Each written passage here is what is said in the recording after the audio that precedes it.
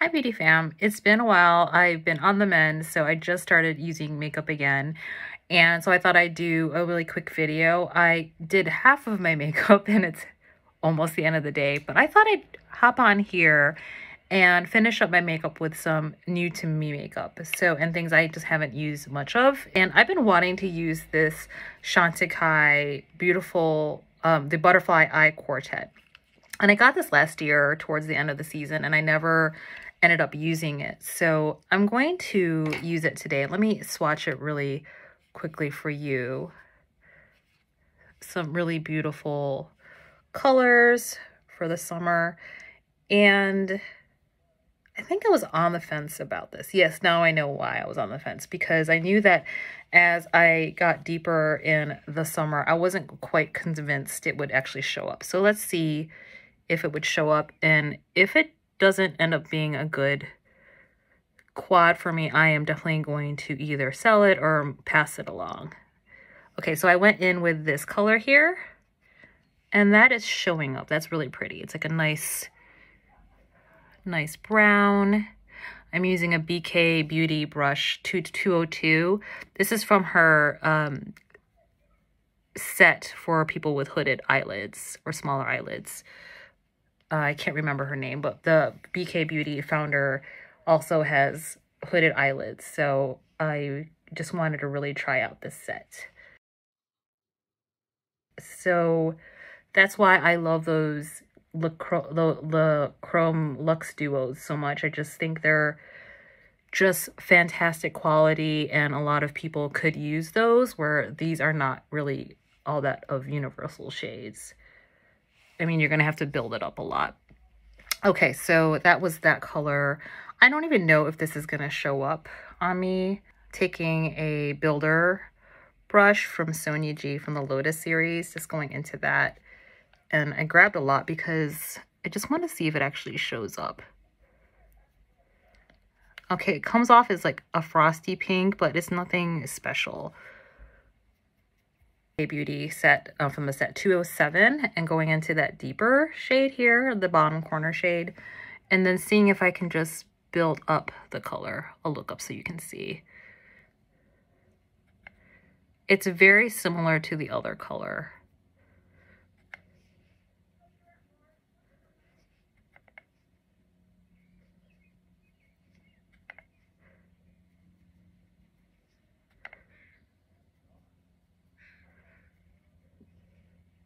And I think I remember the only shade in here that was the stellar shade was this. So we'll see how this lays on top. And it's like a multi-chrome and it has blue shifts in it, some yellow, some green in there. I'm just going to put that all over the eyelid because really that's the showstopper shade.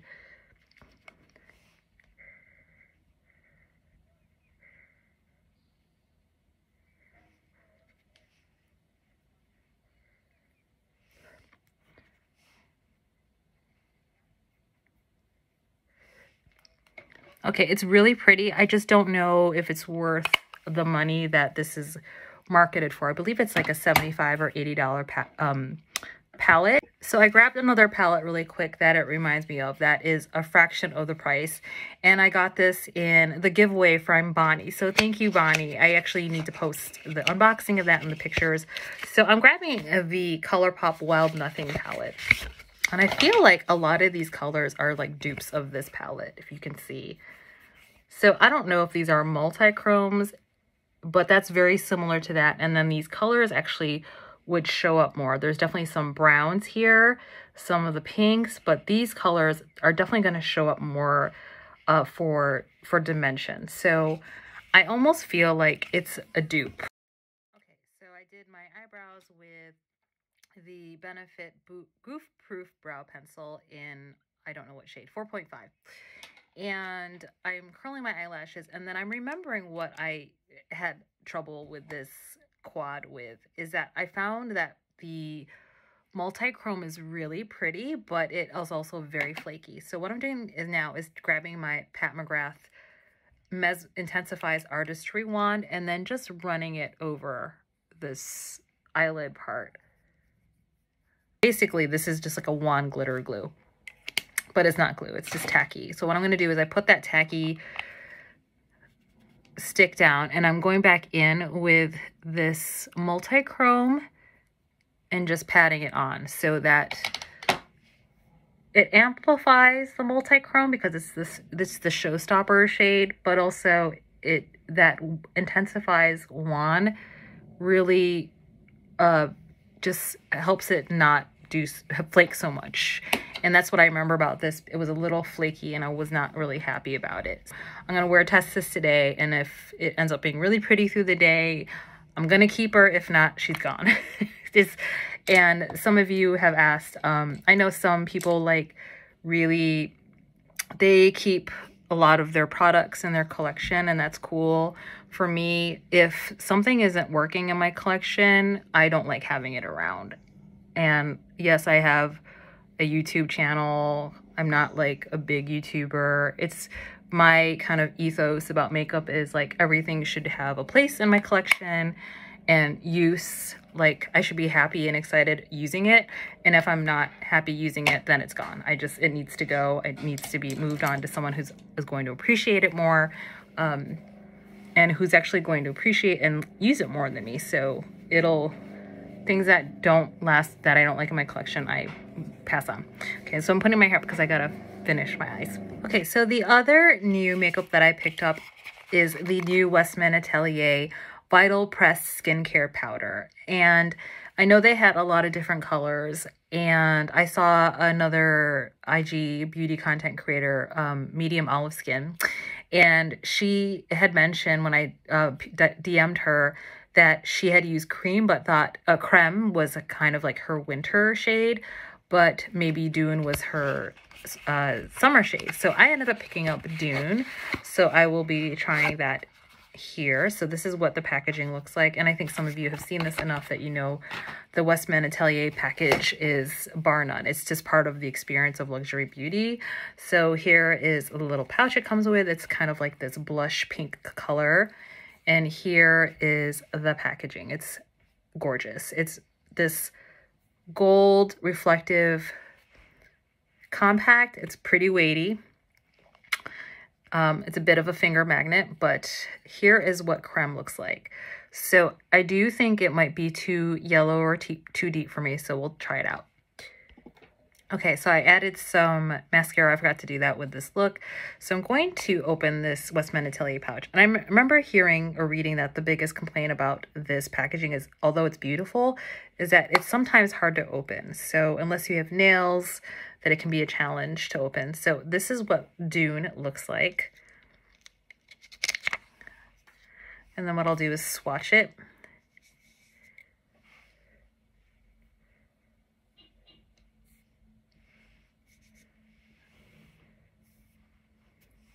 So it does look a little orange, so we'll see. What I'll do is kind of do a little bit of um, a spot treatment. So the texture is definitely very slippery. I can notice that. It almost feels like it's wet, but it's not at the same time. So maybe that's the skincare part. I'm not sure.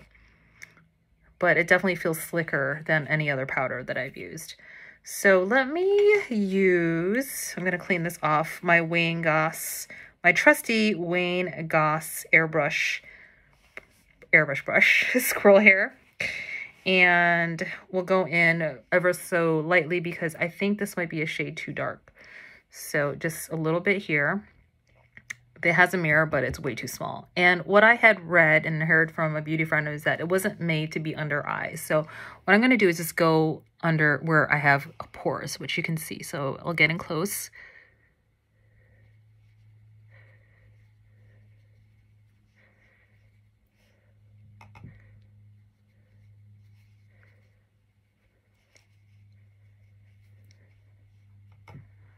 And I have not used any bronzer yet today.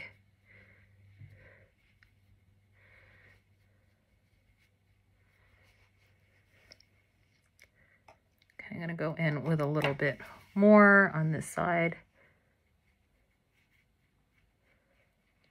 I can see where this is like blurring. Um, it's not exactly like the blurring I'm used to, like buffing and blurring powder, like the Chantecaille. Um, I do think the color is not a match for me. It's actually making me a little bit more orangey red, even if I'm going in super light. So now I know I definitely got the wrong color for me. So if you're my shade or deeper, this will maybe work for you if you're going to get deeper. But again, this is probably too, or if you're like my shade or lighter, it probably will be too deep. So you can see it almost could probably, if I wanted to go ham on it, I could use this as a bronzer, but I'm not going to do that because I bought it specifically to be a powder. Um, does it blur? Yeah, there's a little blurring going on. I don't know if I would say it's more blurring than say my Hollywood airbrush flawless finish in medium 2 so medium 2 is my color for charlotte tilbury. This is kind of like my holy grail for pressed powder. And that's a better color for me. Whereas again this is probably too deep. Just take that yeah that's way too deep I can pick up, let me see what's my other powders. I often use the Pat McGrath powder and I have this in the shade yellow and I use that specifically for under eyes. Medium is better for me all around powder. So definitely much more light and it's definitely more powdery, but it's also very silky. There's almost more slip to it, but it doesn't feel wet. So it feels like definitely more powdery. Um, the medium in this I can use all over my face and actually after this is done I will buy the medium in this because it looks better for all over my face. Uh, Chantecaille Perfect Blurring Powder and I've panned this for sure and I'm just gonna do a swatch of this if I can and that's the perfect blurring powder.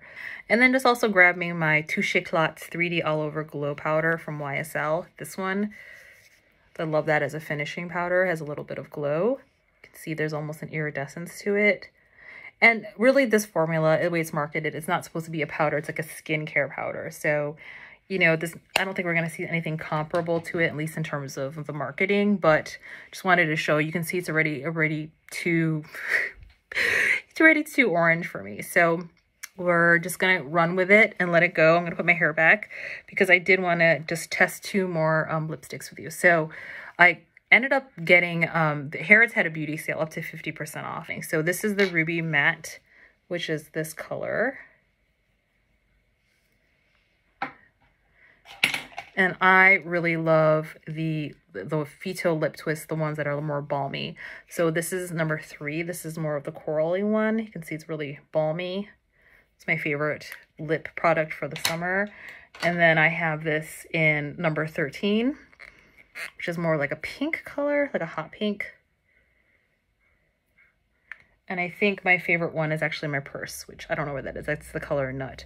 So definitely not really summery, but it's the one I have on now. This is, again, this is the matte one, matte 21 Ruby.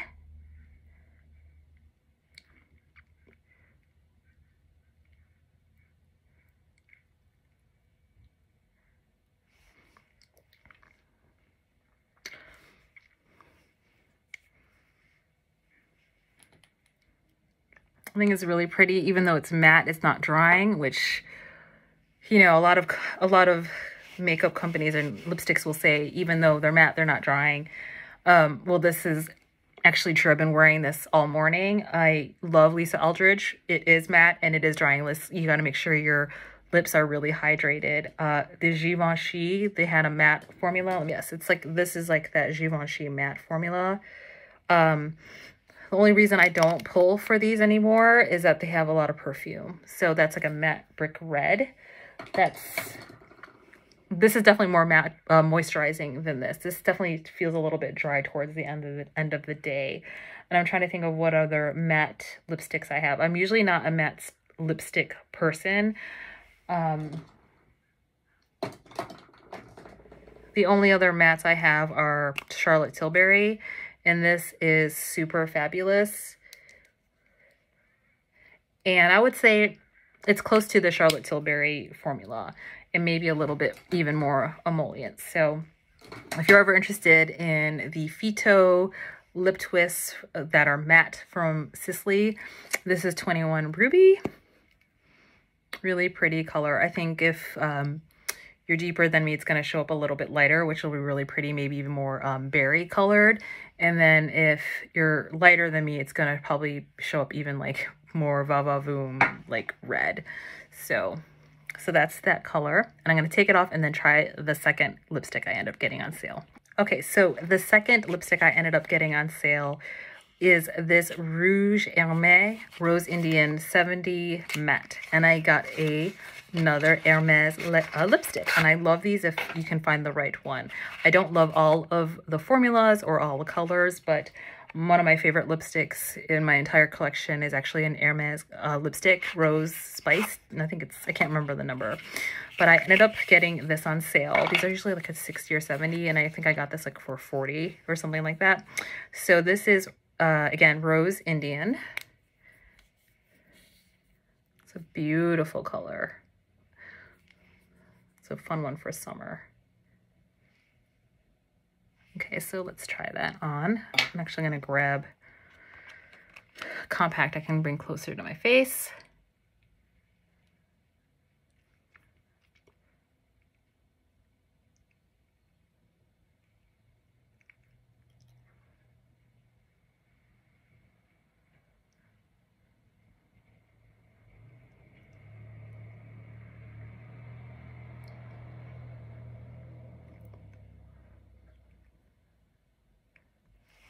Definitely creamy, definitely matte.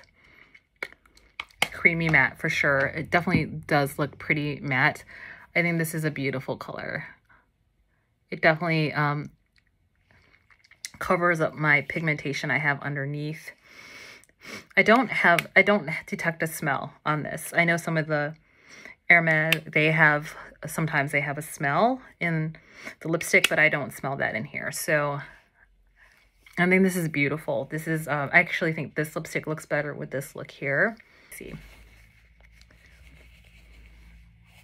It's even prettier. So I just dabbed a little bit so it comes up, up off a little brighter. Okay, so that's it. I just wanted to come on really quick and show you some of the new makeup I tried. I definitely think, I'm, oh, I feel like kind of like okay with this like 21 lip matte. I just wanted to try Sisley, the matte lipstick. I was wearing this for a meeting and then someone was really like, really liked the color on me. So I guess that helped. I was a little insecure about like, it's okay because I have a lot of reds, but they thought it suited me because it's more of a berry tone. Um, loving this color. I think it's beautiful. And I'm planning on getting that Lisa Eldridge skyscraper rose color, which I think will even be even more neon pink, which I'm excited about. So I'll be excited to try this Indian rose and then comparing it to the Lisa Eldridge lipstick. Well, I do have some thoughts about the Westman Atelier. I think it's the wrong color for me. Um, if by the end of the summer I'm deeper, it'll be it'll be just fine. But you know, I don't want to spend like you know, for the price of this powder it doesn't make sense to keep this if I only can use it for one month in August when I'm deeper.